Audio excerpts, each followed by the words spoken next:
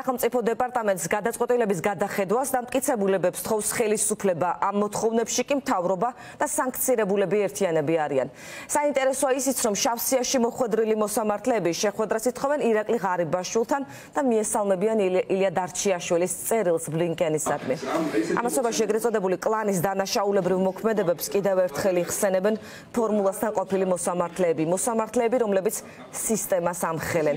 კეთი ნადიბაიძე ელაპარაკა ცოტა ხნის წინ ანაღელეყვას ასევე ნათია ქუთათელაძეს და მეტს მოგვიყვება ახლა კეთი გისმენთ.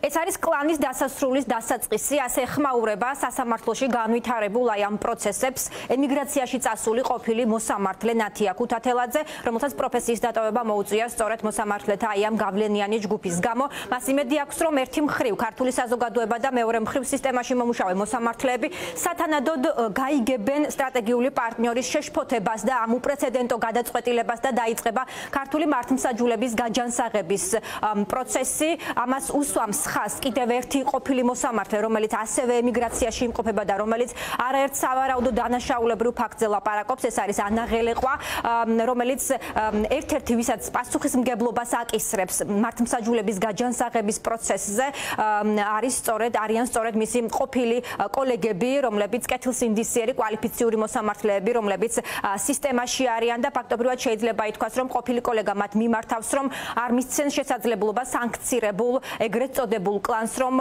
ქართული სასამართლოს სახელით ილაპარაკონ და თავს დაესხან საქართველოს საერთაშორისო პარტნიორებს და მეგობრებს. წარმოუდგენელ კომენტარებს აკეთებენ. წარმოუდგენელ კომენტარებს აკეთებენ. ძალიან გავს მათი რიტორიკა რუსი პროპაგანდისტების რიტორიკას. აი, რუსი პროპაგანდისტების დონის განცხადებებს აკეთებენ. ამერიკის ღირებულებები თურმე არ ყოფილა მისაღები ირაკლი შენგელიასთვის და ამიტომ ამერიკაში თუ არ წავა არანაირი პრობლემა მისთვის არ არის. პრობლემა არის ქვეყნისთვის. ქვეყნისთვის არის პრობლემა ეს გადაწყვეტილება.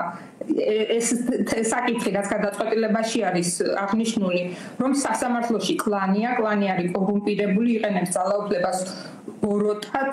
ну არიან სასამართლოში პატიოსანი მოსამართლეები რასაკვირველია კვალიფიციური დაწესიერი ხალხი და მე მაქვს შიში იმისა რომ მათ მიმართ არ დაიწყონ ახლა შესაძლოა უფრო გაბოროტდნენ და შესაძლებელია მათ მიმართ გამოყენებული იქნეს დისციპლინური სანქციები არამიზნობრივად ცხადია.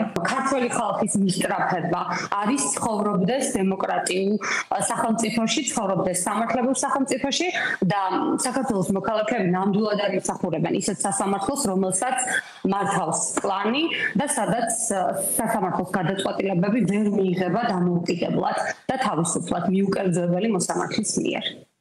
ეს არის ჩემი აზრით დასასრულის დასაწყისი. პლანის დასასრულის დასაწყისი. ნორმალურ ქვეყანაში, ნორმალურ საზოგადოებაში ამას უნდა მოხდეს აუცილებლად ეს პროცესები.